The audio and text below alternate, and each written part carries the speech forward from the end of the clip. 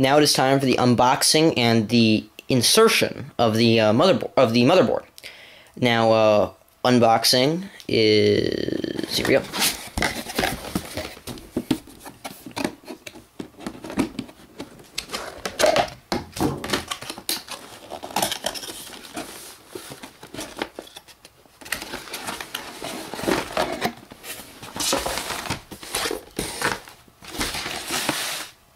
Done. So right here we have the main component. It's currently behind in a plastic bag, probably to protect against uh, static. But uh, that is an FF class motherboard right there. then we got a bunch of wires and crap come with it. The IO, IO shield that would actually be kind of important, I would think. In most cases. I've seated the motherboard now inside of the uh, inside of the case. Uh, that's the word case. Um, and I've read a bit of the material, uh, and uh, I just figure out what the leads are and how things are going to connect up. So uh, what we got to do is now we got to uh, give this motherboard a, screw job and get it to connect and get it connected to the ATX standoff pins. So this thing doesn't come sliding out. Now this right here is a very delicate process. Just like 80 bajillion screws that gotta go in. Get them all sitting right here on top of the CD. Thank God for magnetic screwdrivers, or I would not be able to do this one-handed.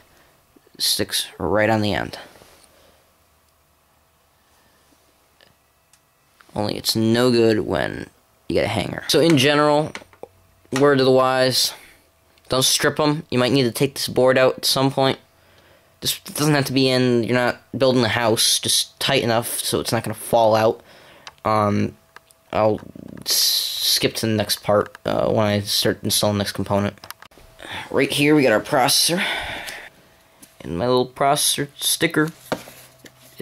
Intel inside the anti-human device. Alright, so I have freed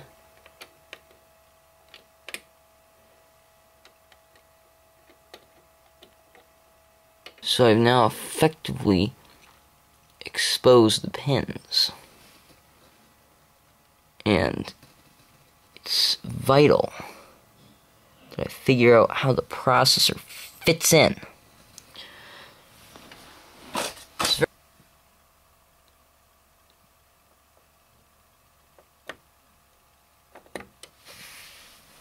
And that's that. It has been placed. So I have conferred with some online sources, and apparently all 1,155 pins underneath the CPU are spring loaded and I need to push them down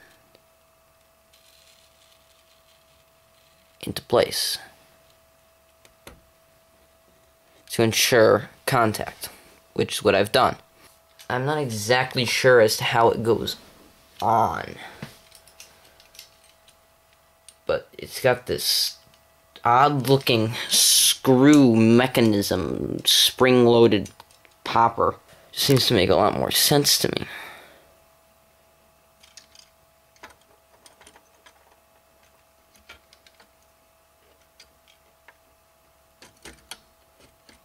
And it sits.